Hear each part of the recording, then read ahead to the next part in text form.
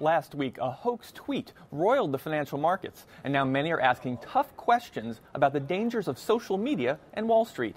Amy, this was the tweet heard around Wall Street, a fake message about an explosion at the White House, President Obama hurt, sent the stock market into a brief but absolutely harrowing tailspin.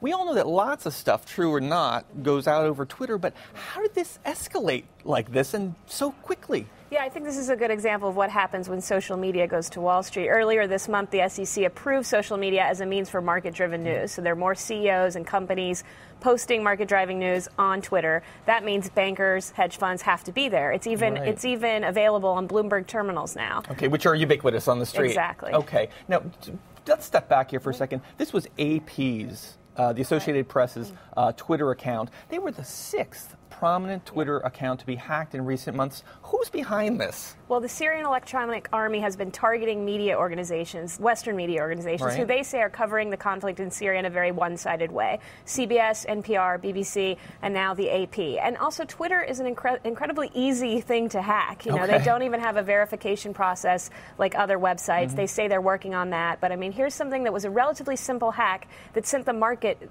plummeting by 136 billion dollars. Wow! You were you're writing that uh, high frequency traders, these are the guys who trade with computers, lightning right. lightning quick, that they've actually got algorithms that are reading tweets and trading right off the tweets. Absolutely, in milliseconds. There are algorithms that pick up information. They would pick up keywords Obama, bomb, White House, immediately sell. And that's how this happened so quickly. I mean, milliseconds. Wow. So we've got a meeting uh, tomorrow uh, with, with, high frequency traders right. and some regulators down in Washington to discuss whether there should be more safeguards or whatever. But what can regulators really do? I'm very skeptical that they can put this genie back in the bottle well, somehow. I mean, Washington is so behind on this. The, you know, the Dodd Frank Act, the big financial reform Act, doesn't even mention technology, and that was in 2010. So right. you can see how far the market has gone. The SEC approved social media saying, you know, we can't stop it. This is where people are communicating. At the same time, I think now they're saying, hey, wait a second, we need to look into how secure this is, what we should do.